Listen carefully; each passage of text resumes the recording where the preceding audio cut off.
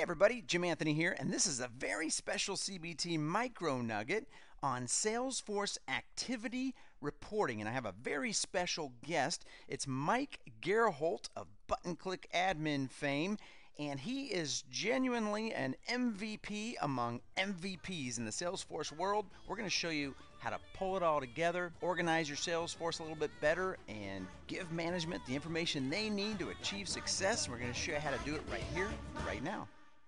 So let's set the table for this video by taking a look at Mike's blog article on activity reporting. He wrote this in February of 2013 and the first thing he does is just use an analogy of a garden to talk about all the customer records that are in your CRM setup and that all of those activities that we have to associate um, with different calls and emails and tasks and all these things that are going on in Salesforce can grow like weeds and if they're not managed well, they can become overgrown within your records and become a pretty big mess. And so the question is, how do we effectively communicate that information to management if it's spread out all over Salesforce? You know, some of it, some of the information's, you know, on account records, some of it's on contact records, some might be in a task, some might be an event. You know, we've got to take all that and create a way to pull it all together and be able to report it to management. You know, because management's going to get frustrated when they try to go into Salesforce and figure out what's going on. So what happens is they end up picking up the phone and they call the rep, which really uh, then begs the question: Why do we have a CRM system in the first place? So let's define the problem a little more clearly here. Mike had a meeting with management, and what he found out was that the key thing that was getting lost was the meeting notes, you know, the key interactions and the information from those customer meetings. There was no real solid way to get that information in front of management when they wanted it. Salespeople were putting information into Salesforce. You know, they were logging their activities, but as mentioned earlier, you know, they, they might put it in tasks, they might put it in events or in different places. So the issue was that varied from rep to rep. And we need to create some consistency here so we can communicate better to management. So how do we resolve this issue? Well, get ready because you're about to receive an object lesson in one of my favorite words, and that word is elegant. Which to me means simple. Clean, clear, crisp solutions. I love it. What Mike did was he created just one new object in Salesforce called Meeting Notes. And whenever reps had discussions with customers, they could just use that object to capture the information from those meetings. You're still going to use tasks and events for activities and other things, but those meeting notes, the good critical information, is all going to be in one place. So let me show you how Mike set that up. So let's jump over here to Mike's blog, Button Click Admin, and I've, I've come to the uh, to the article here and let's scroll down to his instructions. He basically did two things. All, all it takes is two steps, basically, and you can make this happen. Number one, we're going to build a custom object. And number two, we're just going to add a few fields. So the custom object is going to be called meeting notes. And then these are the fields Mike created. One for the subject, which is a text field, and then an owner field, which is a lookup to the user for that you know, Salesforce account, and then date and time of meeting, key questions and issues, so that's a date and time field, that's a long text area field, a pick list field for the main topics, and then this is a very special field, meeting note URL. He puts the link of that meeting note right there in the meeting note. So when you generate a report and send it to management, if management wants to click on the note and read the notes, you just click on the link. And then we have an overview, which is a rich text area. Point of contact, that's a lookup field to the contact. And then related to account, that's a lookup field related to the account we're talking about. So I'll show you how to make a few of these. I'm not going to do all of them on the video. And then uh, we'll, we'll take a look at the final product. So let's start by making the object, the meeting note object. We're going to come up here to setup. And then we'll come over here to create. Come down to create objects, and then new custom object. We'll just call it meeting note. I guess they want a single and a plural version of that.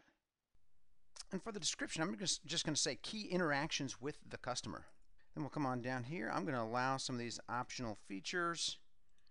Um, do whatever makes sense for you in your organization there. And then we'll click on Save. And now it's going to ask me for a tab style, so I'm going to click on that. I'm come down here and I am going to grab the coffee cup there.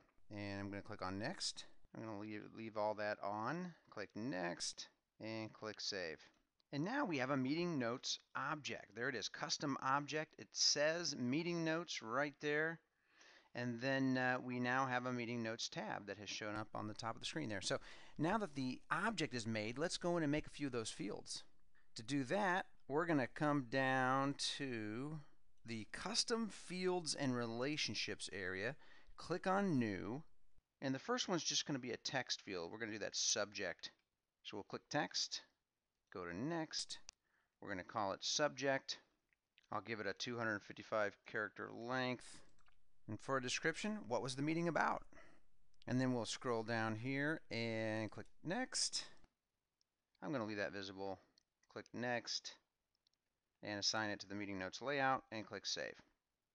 So now we have a, a good subject field on this uh, meeting notes object. I'm going to jump down here to main topics. It's going to be a pick list field and it's basically what was the meeting about. Now the subject also is what the meeting's about. Let's say you put budget in there.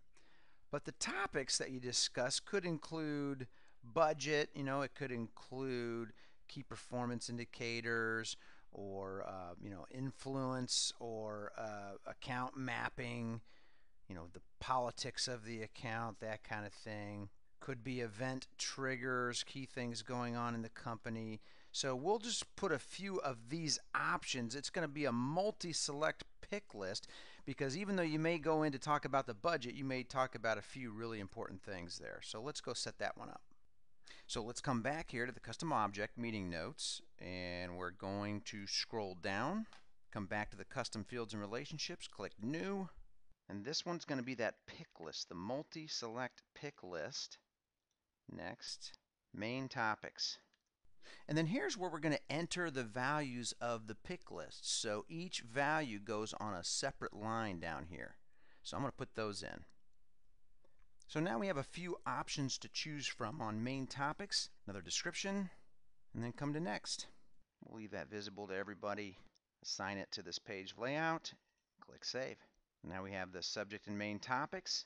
Now let's come to the meeting note URL. As mentioned earlier, this is going to allow anybody who gets a report on these meeting notes to actually click a link and go to the actual meeting note. So let's show you how to set that up. Back to custom fields, click on new. Now this one's going to be a formula field. Next, meeting note URL. And we'll just return a text type. And then the formula. Basically, just grab the URL up here, copy it, put a quote in there, then paste that URL, get rid of the last part, after.com. Put a quote there, and then add plus ID.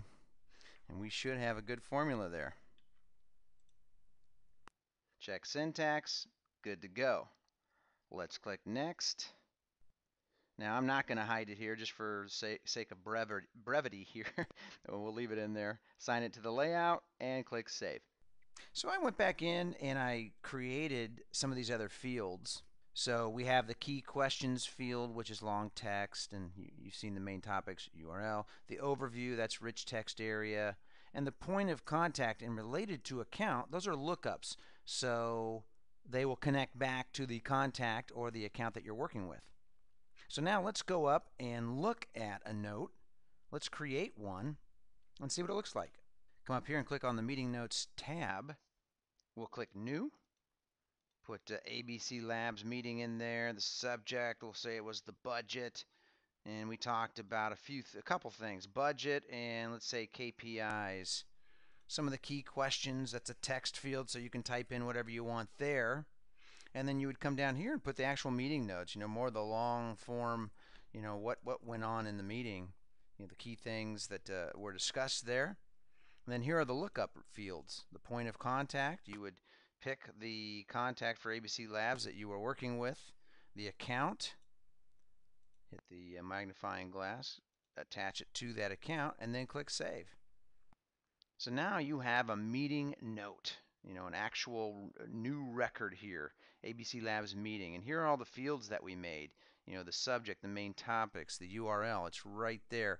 Now, if you hide it on the on this page, you won't see it there, but you can put it in reports and uh, people can click on it. So let's let's do that very quickly as the last thing I'll show you. When you create a report, you'll see where that link shows up.